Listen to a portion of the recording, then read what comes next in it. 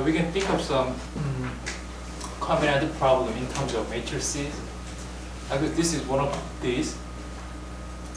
For example, like uh, uh, general matrices. So we satisfy some given restrictions. So in this talk, we think of such a problem and consider their properties. And the main subject of this talk is lonesum matrix. Maybe uh, most of you guys don't know about the lonesum matrix, so it's better to define it first. A binary matrix called lonesum, if we can reconstruct the matrix from its rows and column sum, and if you look at this carefully, you can see that with this column sum and row sums, there is exactly one such matrices. And actually, there is some research on this area, this kind of matrices. So we, mathematician, right? So we general, usually generalize it, whatever else it may be, we generalize it. So as generalization, we can use more numbers, for example, three numbers or two numbers or any consecutive numbers. So using that, we can define similar thing. So we think of such a thing. Uh, to have some hint for construction of the such matrices, we think of binary case first. And if it, you just consider the definition of the lonesum matrices, it's very abstract. I mean, some Lonson column sum and unique reconstruction. So we need more concrete discriminant to define or construct these matrices. And one of these is these theorems. A binary matrix is a lonesum if it doesn't contain a 2 by 2 minors of the following forms. Uh, the meaning of the theorem is if you, for a given long matrix, if you consider any minors, it must also become sum because it is not lonesum by changing this minor into another matrix with long sum and column equal but different one, so we can form another matrix. Uh, among these minors, uh, minors, this is the smallest one, which can have different rows and columns. If you look, look at this one, rows and column sum is two, but the matrix is different. Right? So if you use this theorem, uh, we can actually see that for a matrix M, M sub y is just log to M, and M to the J is just column of M using the theorems. If you compare n to columns and rows, it means it composed just non-negative entries and non-positive entries. So if, it, if we permit rows and columns of the given matrix properly, then we can obtain this kind of matrices. So simply,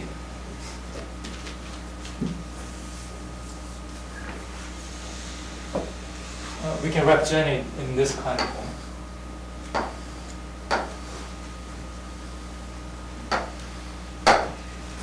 So if you just consider the positions one here, it is exactly this kind of. There is one rows. If you know about the partition, it is exactly the form partition. But there is one difference. We permit rows and columns, so to determine this kind of standard form, we have to determine indices of rows and columns. So, uh, what kind of do we have to determine? Since if the size of the columns and rows are equal, well, in that case, we don't have to consider the order of the indices. We just choose order from, let me see, 1 through n and 1 through k. So in these numbers, we choose that one and partition this set. From this construction of a binary lonesum matrix is equivalent to form the following following to or the partition partition of the this this set and partition of the size k set. In this case, we have some constraint. For fixed L, we have a constraint that the first step must be can be zero. What is the meaning of the first step? The first step is the number of the those sets whose size of whose size is maximal. The B0 corresponds to those sets whose size of column is maximal, and uh, the integer correspond to the rows with size maximum. So we have this kind of constraint. Now, if you want to simplify, but we want to simplify this one a little more from this. Instead of just considering the, the A0 and B0, we add one more number here, 0. And in this case, every every step you can non-empty, right? So from this, we can construct this one. How? At first, we just fix, we divide the set of size n plus 1 and k plus 1 into l plus 1 sets. And we fix this one as the set which contains 0, and then we permute other sets. This is represented in this way. At first, we, we, we uh, this, this is the, the number, Stirling number of the second part, which is partition of the, this finite set into the yeah, yeah, size n set and L sets, and we have these two partition and permutation. And there is one case where L equal 0. In that case, it is just composed of the 1, right? So actually it follows the definition and exactly 1.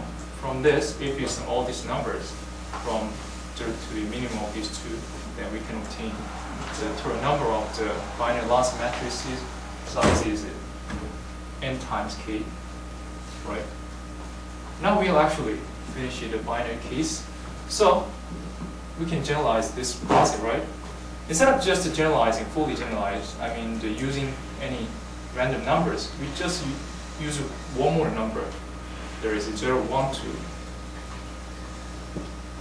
So the process is actually, we just follow the process that we have taken in finding the properties of the binary lonesum matrices.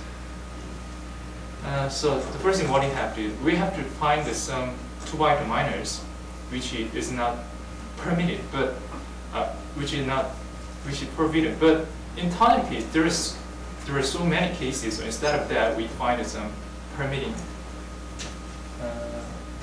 2 by 2 minors.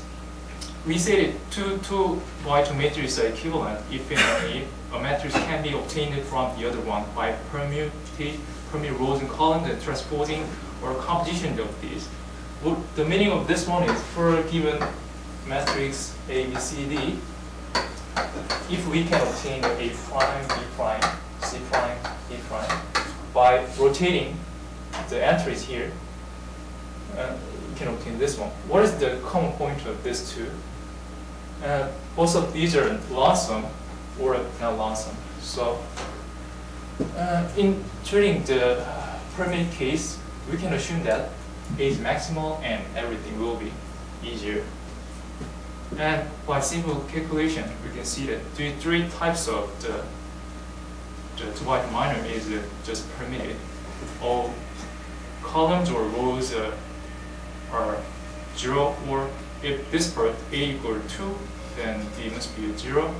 No column or columns or rows are two. Actually, these two matrices are in a dual relation because this is minimal and this two is maximal in this case. Now, using uh, we can actually also show that if uh, ternary matrix only contains the matrix in one or their equivalents is two by two minors, then that forms the lonesum matrix from this, we can obtain the, the discriminant of the ternary lonesum matrices in this kind of the three types of matrices. Now, similar to binary case, we can actually permit rows, rows and columns, and by the uh, permitted patterns, we can actually find that if we, we if, if we were able to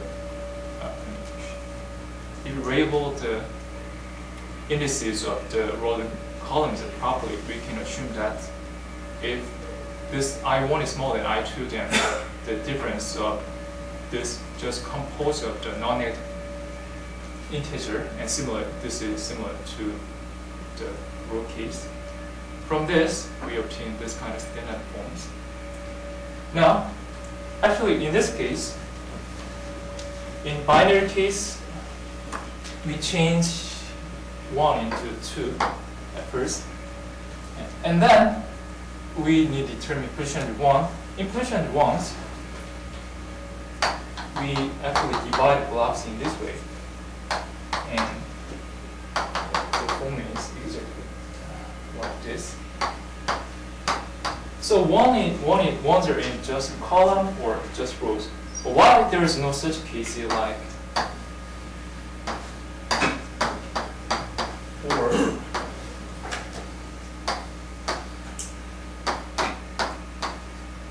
we can actually change it into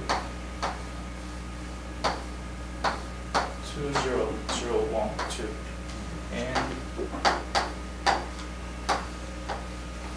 this can be changed into two zero zero one. So because of this, if they the given standard form has this kind of sub two item matrix, it it is not an awesome. So the quotient one can be just in a column or in a row.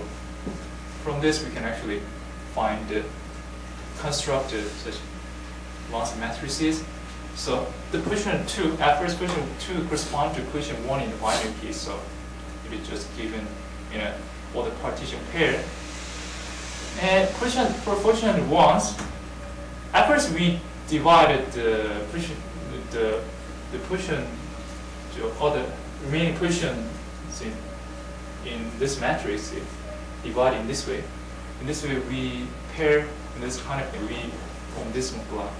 In this example, these parts are all blocks. And uh, we fix one block here.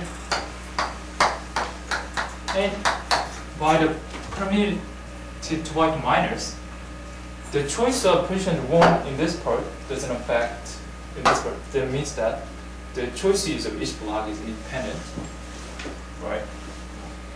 And by previous arguments, the quotient one in a ice block can be just, let me see, just in a column or just in a row. From this, there are actually four cases. The first one, u equals zero. In this case, there is no ones at all. This is just composed of zero and exactly one one in the ice block. The L is two ones in a column or at least two ones in a row. In first case, there is trivially one such of choices, but it's just composed with zero, so there is no ones. And if there is exactly one ones, since the size of the ice block is ni times ki, so we have this much choices. And if there is at least two ones in the columns, at first we we choose one column in a in ice block and fill that block at least two ones, and then we obtain these numbers. Similarly, if ones in a column in a row, then we, we choose one row and then fill the row with at least two ones. From this, if you sum all these numbers, the total number of choices quotient one in the ice block is given by this number. From this, we have let FST be the, this corresponds to the number of choices of quotient 1 in the blocks of size as time t, and this will correspond to the partition of the finite set. So if you use these two notation, you can see that the number of the n by n times k ternary lonesum matrix is, is inverse number. This corresponds to the position of 2, and this corresponds to position of 1. Now we uh, we can we can fully generalize it, Mm. but actually the method is exactly the ternary case. So just to follow it. The first step, what he what he did, we actually find the two byte minors. So in this case, we use we do similar things. For that, we define two compatible matrices. A, A and A alpha are compatible. If you look at this one, what you can see, these two matrices have the same row and column sums. That means by subtracting proper number from A and D and added C and B here. And since we define equivalent to matrices, so instead of just considering every cases, we may assume that is the maximum of all these numbers. Uh, there are actually two cases where a is q minus 1 or a is smaller than q minus 1. For the case that a is q minus 1, if one of these numbers are one of these numbers q minus 1, there is no no alpha except 0 y because there is no mid, no 2 by 2 minors which have the same low sum column sums. And if both of them are smaller than q minus 1, in this, in this case, this part must be 0 y. If, there, if this is non-zero, by subtracting proper number from q minus 1 and d, we can add a c and b. And then it forms another 2 by 2 matrix which, which loss and column sum is equal to given matrix. From these three, three types of matrices are just permitted. And by similar argument, we can see that for the case that A is smaller than Q minus 1, three, three types of, two types of matrices just permitted. There is a whole columns or zero or whole. So if you compare this one with the ternary case, what is the difference? At first, the position of Q minus 1 is exactly the position of 2 in the ternary case. Now, the only difference is the number of choices here can be 1 to q minus 2. There are q minus 2 choices. So this is the only difference. From this, everything we have to change it, just this formula. In previous calculation, let me see. We use this app function, but instead of that, we use appqst. So the, in, in this case, in previous case, the q minus 1 was uh, 2, but in this case, it became q minus 1. So we have this formula. Now, after considering this problem, I think that maybe the general function is more easier to calculate uh, just the formula y. If you consider each block, the choice of the position of non-zero part of position of each block is independent. So if you consider general function of the this kind of matrices, well, general function become very easy. Why? Just multiply general function of the the general function of block, this kind of blocks, and then we can actually obtain it, and we'll see if it, this is true or not. Uh, let's consider ternary case first. And 3 and k is defined the number of n by k ternary lonesum matrices. Then we calculate this number in this way, right? Now, we can cancel this part here. And the reason why we use the exponential function is very, actually we did some, give some indices, some order here, 1 through n, so we have to choose this one. And then it is simplified in this way. And if you look at this one, actually this one corresponds to the case that all equals zero. So phi so this one is simplified in this way. See, if you look at this part, it is exactly e to the x and this one e to the y, and this one is actually correspond to general function of the each block, and this one correspond to the number of such blocks. And this one corresponds to general function of the the the number of the rows of maximum size. This one correspond to the number of the uh, row columns of maximum size. And everything we have calculated this this can be obtained by just considering these two formula. Then we can obtain this kind of forms, and from this we have this one. I think this is very simplified than the formula of the ternary lonesum matrices. And in q-ary case, every the only difference is the number of choices of the non-zero positions. So from this, if you change the f3xy into fqxy, we can obtain this formula, this general function. now we have seen that some have defined some matrices which is by some properties, and we find some different functions. And uh, another other kind of uh, it's matrix problem. I think this is one of the famous problem, matrix problem, finding the number of the n by n, n times n matrices. Entries are just 0, 1, and rows and columns are a fixed number, k. So for finding the number of the yeah, Latin squares, I think such a problem is very nice or interesting. The matrix problem in terms of combinatorics. This is all I have prepared. I.